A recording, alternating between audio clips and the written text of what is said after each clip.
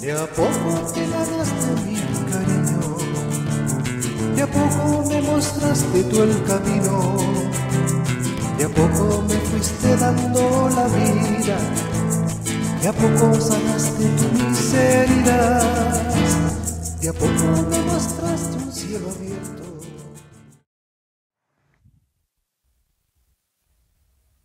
¿Cómo estamos? Estamos ya bien, tranquilo. Este Efesio es maravilloso, esta carta eh, a Chile, a Ecuador, a Perú, a Estados Unidos, a, a cualquier lugar del mundo nos está hablando cada uno. Piense que nos está hablando a nosotros como familia, como persona. Ah, cuando veíamos lo que nos decía que esto que tenemos es puro don, pura gracia.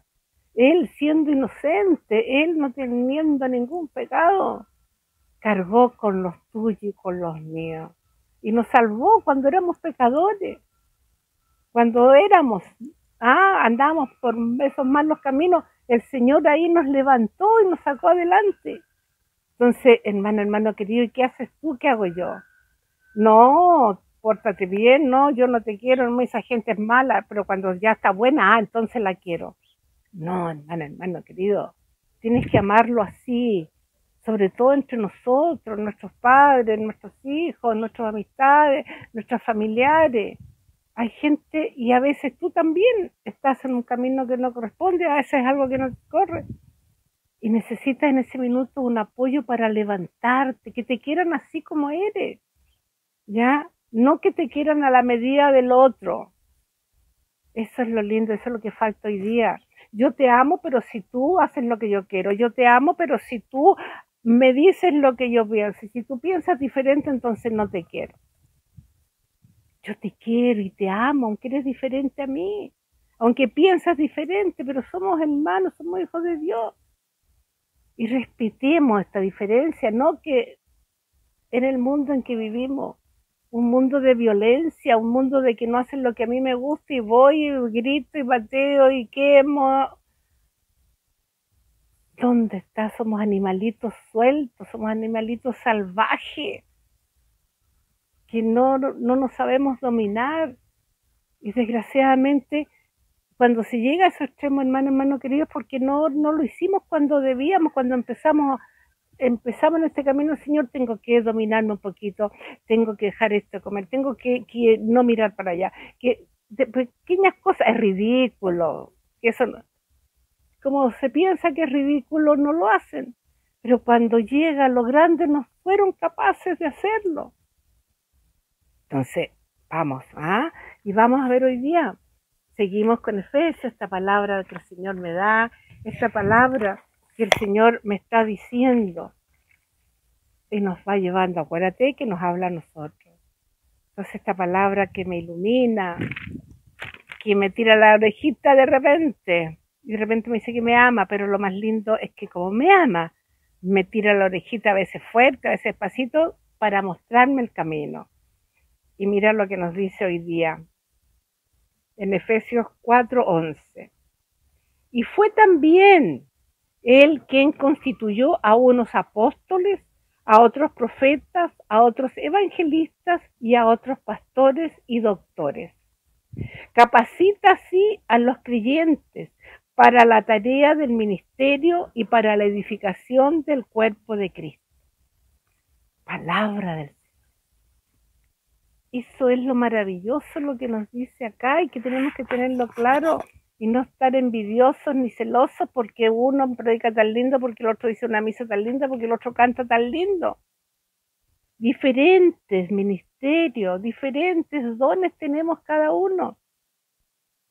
Y no nos llama porque somos espectaculares en eso, sino que nos llama porque nos ama y confía en nosotros y después nos capacita.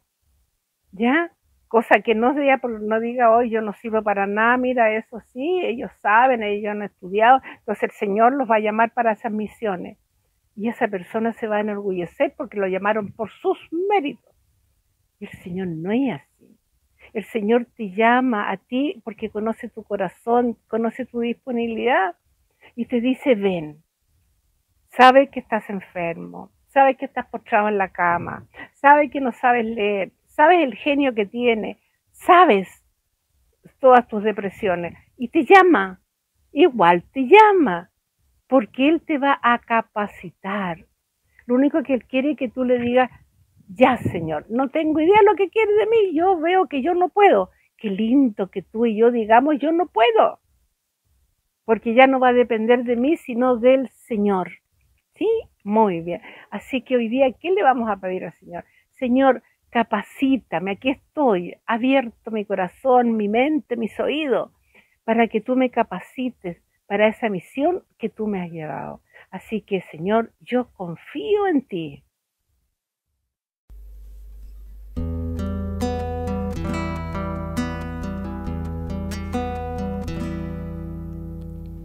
¿Cuánto tiempo anduviste tras de mí? Déjame lavar la herida de tus pies. Te llevé a caminos llenos de espinas y tus pies sangraron solo por amor. ¿Cuánto tiempo anduviste tras de mí? Déjame lavar la herida de tus pies. Te llevé a caminos llenos de espinas y tus pies sangraron solo por amor. Mi buen pastor, mi guía, tú mi guardián. Saliste a buscarme en la oscuridad. Con dulce amor me tomaste entre tus brazos y me salvaste de caer en un abismo. No me da lo mismo Tú diste tu vida y ahora ante ti. Esos pies benditos que no se cansaron, hoy quiero curarlos con mi adoración. No me da lo mismo,